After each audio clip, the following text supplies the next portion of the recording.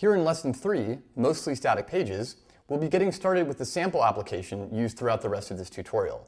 From here on out, everything we do will be real. It will be designed for a web application suitable for deployment to the live web. We'll get started by making truly static pages using HTML, and then we'll make slightly dynamic pages using embedded Ruby. We'll also get started with automated testing using a technique called test-driven development to make our sample application.